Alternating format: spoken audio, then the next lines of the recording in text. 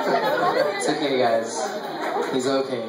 This song, this song is um, no, no, on a serious, in a serious tone now. Um, this song is, is called "Stop This Train" like,